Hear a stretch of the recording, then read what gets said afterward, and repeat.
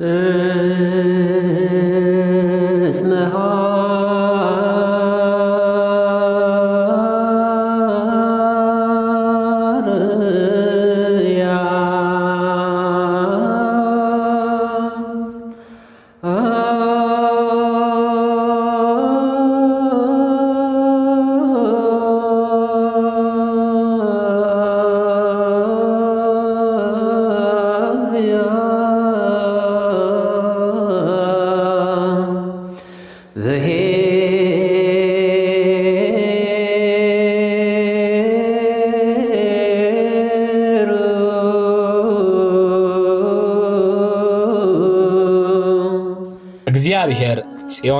መርጧታልና ማደሪያውም ትሆን ዘንድ ወዷታልና እንዲህ ብሎ ይህች የዘላለም ማረፊያዬ ናት፣ መርጫታለሁና በዚህች አድራለሁ።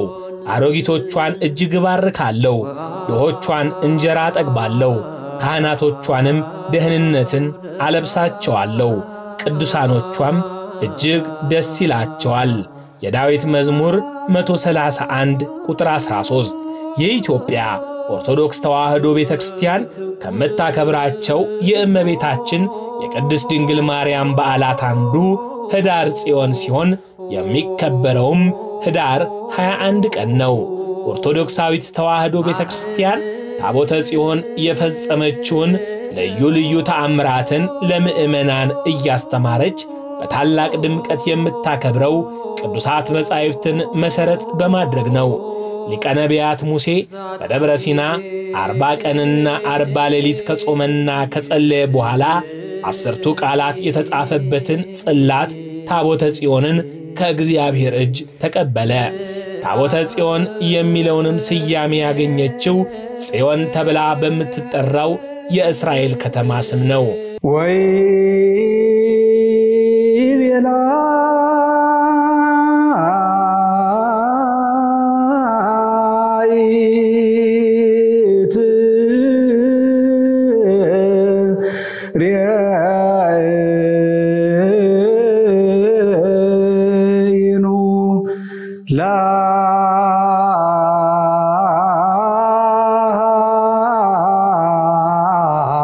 Asia,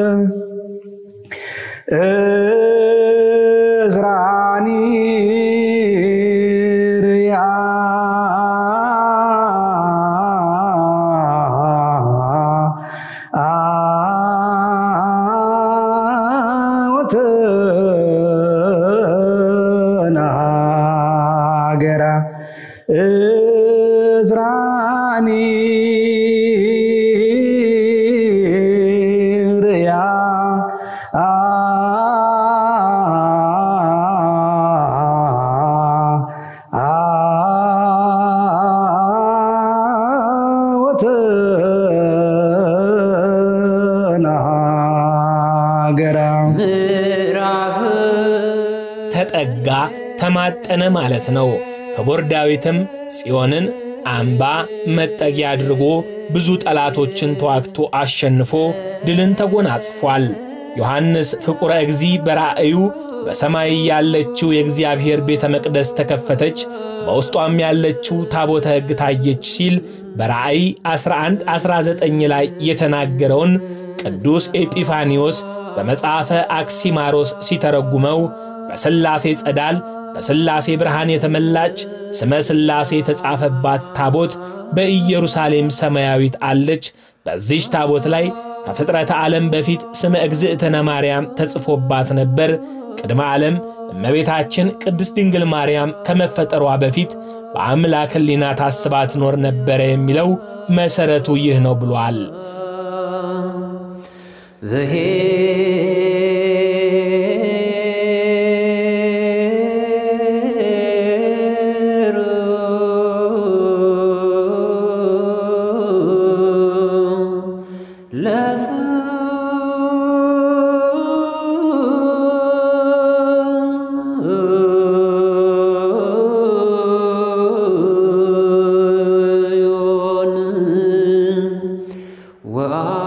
ጽዮን የምትኖርበትን ድንኳን ሊቀ ነቢያት ሙሴ እንዲሠራ እግዚአብሔር ነግሮታል። ሊቁ ቅዱስ ኤጲፋኒዎስ ስለዚህ ሲናገር ደብተራ ኦሪትን በኢየሩሳሌም ሰማያዊት አርአያና ምሳሌ እንዲሠራ እግዚአብሔር አሳይቶታል። ኢየሩሳሌም ሰማያዊት ሁለንተናዋ ከብርሃን የተሠራች ናት። ኢየሩሳሌም ሰማያዊት ቅርጽም ደብተራ ኦሪትን ትመስላለች ይላል። ሕዝቡም ከፈጣሪያቸው ጋር ቃል ኪዳን ገብተው በታቦተ ጽዮን አማካኝነት ሲያመሰግኑ ኖረዋል። ታቦተ ጽዮን እግዚአብሔርን ለሚያምኑ ሕጉንና ትእዛዙን ለሚፈጽሙ ሰዎች ሁሉ ልዩ ልዩ ተአምራትን እንደፈጸመች ከቅዱስ መጽሐፍ እንረዳለን። እስራኤላውያን ሕጉን ሲጠብቁ፣ ትእዛዙን ሲፈጽሙ እግዚአብሔር በታቦተ ጽዮን እያደረ ይረዳቸውና ጠላቶቻቸውንም ድል ያደርጉ ነበር። ሕጉን ሲያፈርሱ ደግሞ በጠላቶቻቸው ይሸነፉ ነበር።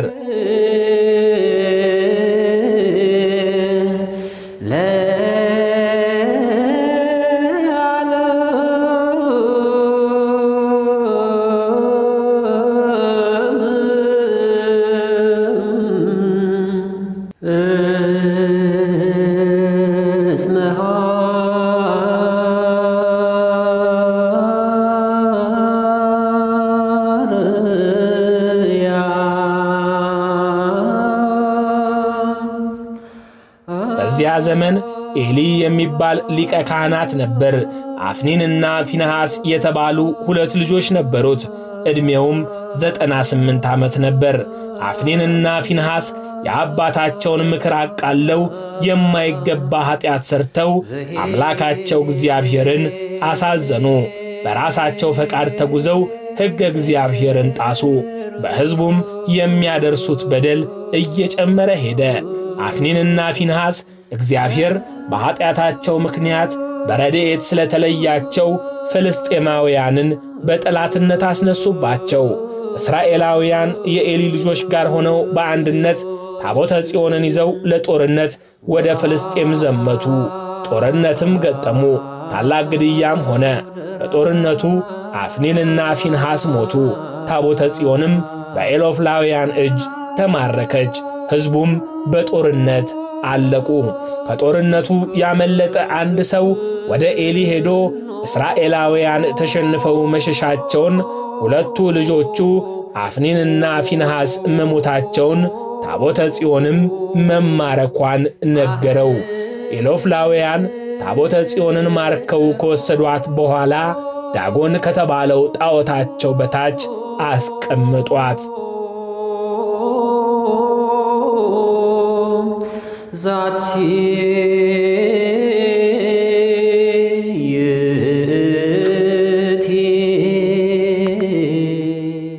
በማግስቱ የዳጎን አገልጋዮች መጥተው ቢያዩ ዳጎን ከእግዚአብሔር ታቦት ፊት በግንባሩ ተደፍቶ አገኙት። አንስተው አቁመውት ሄዱና በማግስቱ መጥተው ቢያዩት በግንባሩ ወድቆ እጆቹ ተለያይተው ጣቶቹም ተቆራርጠው ደቀው በወለሉ ላይ ተበታትነው ነበር። ታቦተ ጽዮን ግን ምን ጉዳት ሳይደርስባት ከላይ ሆና አገኟት። አገልጋዮቹም ታቦተ ጽዮን ያደረገችውን ተአምር በማድነቅ ዳጎንን በመናቅና በማቃለል ከዚያ ቀን ጀምረው ከቦታው ፈጽመው አልደረሱም። አንደኛ ሳሙኤል ምዕራፍ አምስት ከቁጥር አንድ ሕዝቡም በሰውነታቸው ላይ እባጭ እየወጣባቸው ሲገድላቸው ሌሎቹንም በሚያንቀጠቅጥና በሚጥል በሽታ እያሰቃያቸው እህላቸው በአይጥ እንስሶቻቸው በበሽታ አለቁባቸው።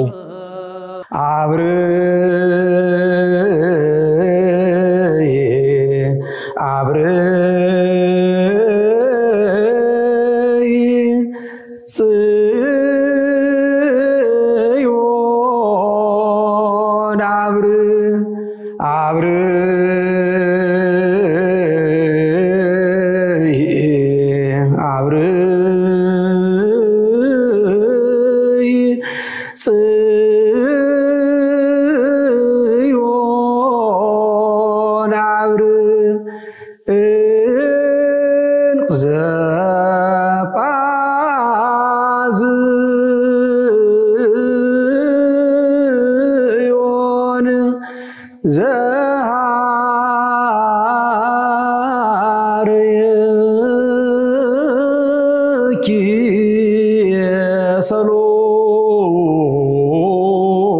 ሰሎሞን ንጉሥ ታቦተ ጽዮን በኤሎፍላውያን ላይ እንዲህ ያለ ተአምር እየፈጸመች በፍልስጤም ሀገር ለሰባት ወራት ቆይታለች።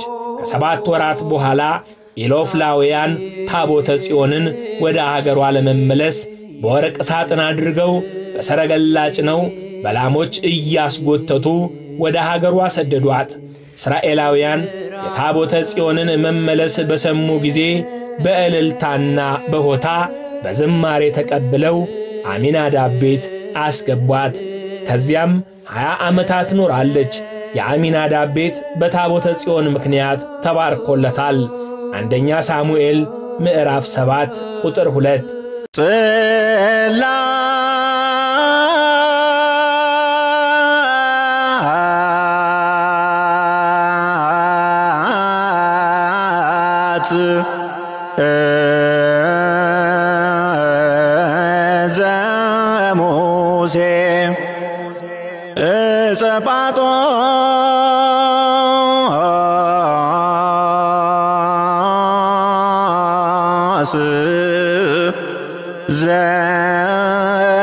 谢谢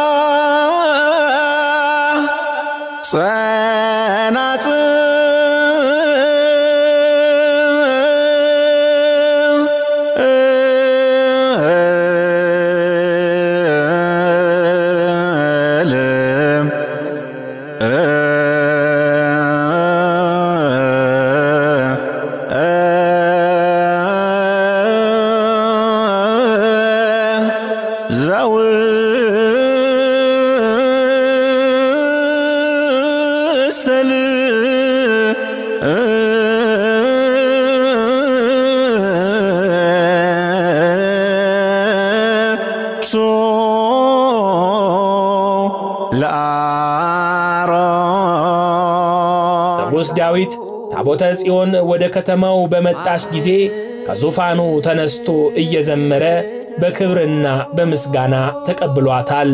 ብዙ መሥዋዕትም ተሰውቷል። ሁለተኛ ሳሙኤል ምዕራፍ 6 ቁጥር 14 ታቦተ ጽዮን እስከ ንጉሥ ሶሎሞን ዘመን ድረስ በደብተራ ኦሪት ከተቀመጠች በኋላ በንጉሥ ሶሎሞን በተሠራው ቤተ መቅደስ ገብታለች። አንደኛ ነገሥት ምዕራፍ 8 ከቁጥር 1 እስከ 12 እዝራኒ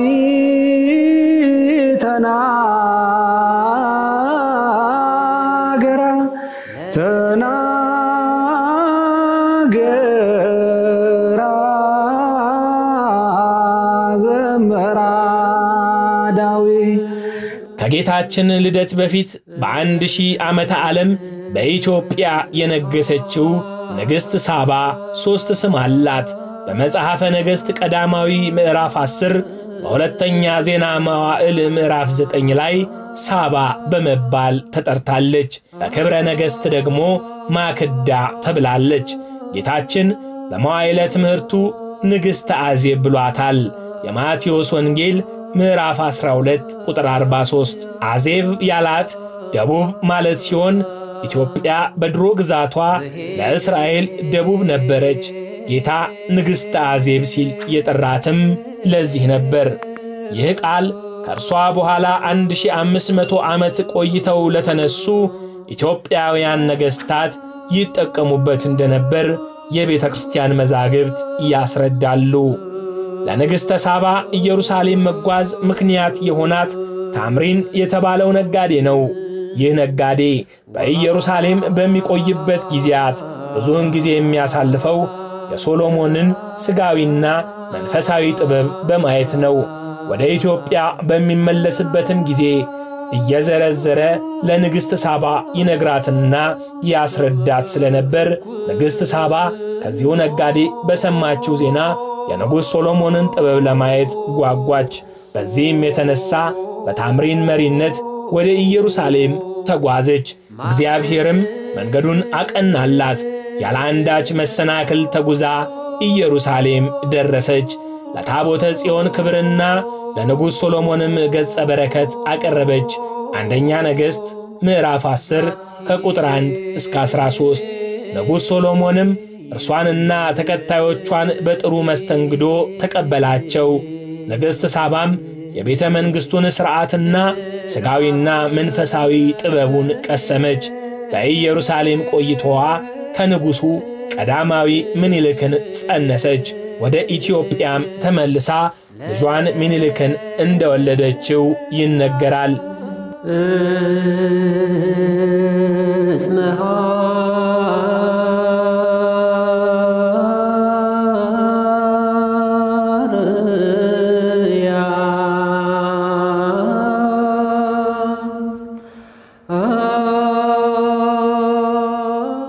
የቀዳማዊ ምኒልክ ጉዞና የታቦተ ጽዮን መምጣት ቀዳማዊ ምኒልክ ካደገ በኋላ በዐሥራ ሁለት ዓመቱ ከእናቱ የተሰጠውን ለታቦተ ጽዮንና ለንጉሥ ሶሎሞን እጅ መንሻ ይዞ ወደ ኢየሩሳሌም ተጓዘ። ንግሥት ሳባም ለንጉሥ ሶሎሞን ንጉሥ ሆይ ልጄን ሙሴ የጻፋቸውን ሕግጋት ሥርዓተ ክህነትንም አስተምረህ ላክልኝ ስትል መልእክተኛ አስከትላ ላከችው።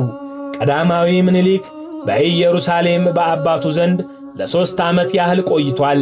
በዚሁ ዘመን መጻሕፍተ ሙሴን ሕገ መንግሥትንና ሥርዓተ ክህነትን የዕብራይስጥ ቋንቋን ከሊቀ ካህናቱ ከሳዶቅ ተምሯል። ወደ ኢትዮጵያም ሲመለስ በፈቃደ እግዚአብሔር ታቦተ ጽዮንን ይዞልን መጥቷል። ይህች ታቦት ለሦስት ሺህ ዓመታት ያህል እስከ ዛሬ ድረስ በኢትዮጵያ በአክሱም ትገኛለች። ማርያም ጽዮን ታቦተ ታቦተ ታቦተ ቃለ ንግሥተ ሳባም ታቦተ ጽዮን መምጣቷን ስትሰማ ለእግዚአብሔር መሥዋዕት አቀረበች። ሰዎችን መርጣ ታቦተ ጽዮንን እንዲጠብቁ አድርጋለች። የመንግሥቱን ሥልጣን በሙሉ ለቀዳማዊ ምኒልክ አስረክባ ከዚህ ዓለም በሞት በተለየች ጊዜ በዚያው በአክሱም ተቀብራለች።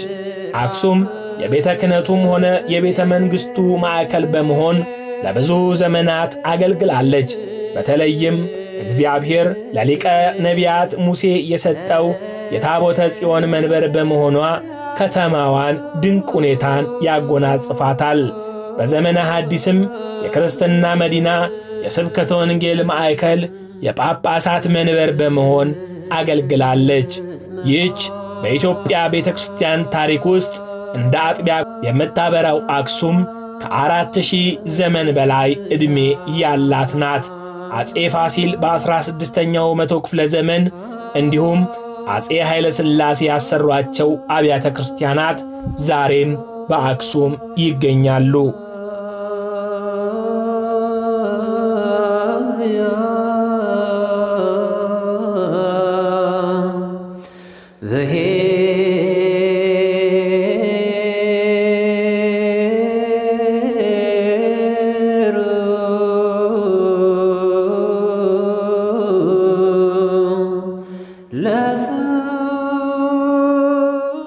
ታቦተ ጽዮን በእመቤታችን በቅድስት ድንግል ማርያም ትመሰላለች።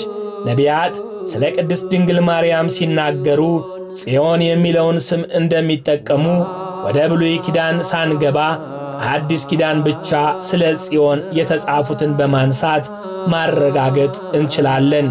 በነቢዩ ዳዊት ኢሳይያስ ጽዮን ከተሰኘች የሙሴ ጽላት ካህኑ በሚያቀርበው መሥዋዕት አማካኝነት አፋዊ ድኅነት እንደተደረገ ከእመቤታችን ከተወለደው አማኑኤል አማናዊ ድኅነት እንዲፈጸምልን መድኃኒት ከጽዮን ይወጣል ከያዕቆብም ኀጢአተኝነትን ያስወግዳል በማለት ስለ ክርስቶስ ትንቢትን ተናግረዋል። መዝሙር 13 ትንቢተ ኢሳይያስ ምዕራፍ 59 ቁጥር 20። በዚህ ቦታ ጽዮን ያልዋት ቅድስት ድንግል ማርያምን መሆኑን ማስተዋል ይገባናል። ምክንያቱም እርሱ ከእርሷ እንጂ ከሌላ አልተወለደምና። ነገር ግን መድኃኒት የተባለው ጌታችን መድኃኒታችን ኢየሱስ ክርስቶስ ስለመሆኑ መልአኩም እንዲህ አላቸው፣ እነሆ ታላቅ ደስታ የምሥራች እነግራችኋለሁ፣ በዳዊት ከተማ መድኃኒት እርሱ ክርስቶስ ተወለደ። በሉቃስ ወንጌል ምዕራፍ 2 ቁጥር 10 በማለት ገልጾልናል። ከዚህ በተጨማሪ ኢየሱስ ማለት መድኃኒት ማለት ነው። የማቴዎስ ወንጌል ምዕራፍ 1 ቁጥር 21 የጌታችን የመድኃኒታችን የኢየሱስ ክርስቶስ እናት ደግሞ ቅድስት ድንግል ማርያም መሆኗን ማንም የማይክደው ሐቅ ነው። ስለዚህም ነቢያቱ መድኃኒት ከጽዮን ይወጣል ሲሉ ጌታችን መድኃኒታችን ኢየሱስ ክርስቶስ ጽዮን ከተባለች ከቅድስት ድንግል ማርያም ይወለዳል ማለታቸው እንደሆነ ግልጽ ነው። በዚህም መሠረት ቅድስት ቤተ ክርስቲያናችን በብሉይ ኪዳን በታቦተ ጽዮን የተፈጸሙትን ገቢራተ ተአምራት ለድንግል ማርያምና ለጌታችን ለኢየሱስ ክርስቶስ በመስጠት ተርጉማ ለልጆቿ ታስተምራለች።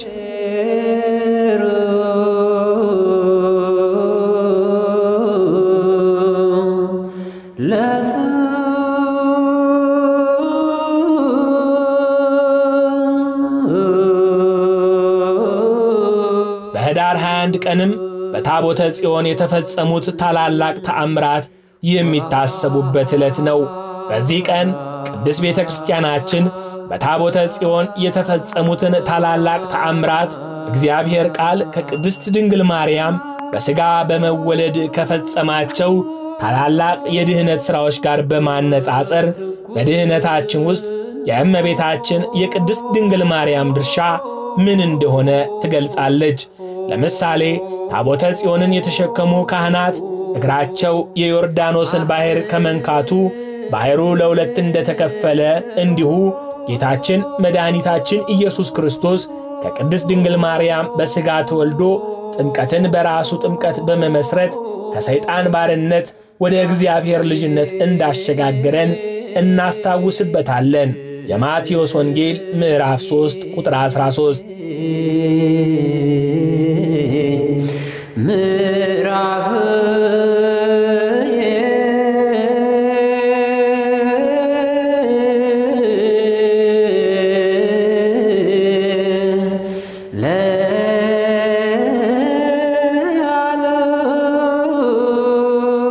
ፍልስጤማውያን ከእስራኤላውያን ጋር ውጊያ በገጠሙ ወቅት ታቦተ ጽዮንን ማርከዋት ዳጎን በሚባለው ቤተ ጣዖታቸው ውስጥ አኑረዋት፣ ነገር ግን ታቦቷ ዳጎኑን በፊቱ ሰባብራ እንደ ጣለችው እንዲሁ ከቅድስት ድንግል ማርያም በተወለደው በጌታችንና በመድኃኒታችን ኢየሱስ ክርስቶስ በእኛ ላይ ሰልጥኖ የነበረው ሰይጣን ድል መነሳቱን እናስታውስበታለን።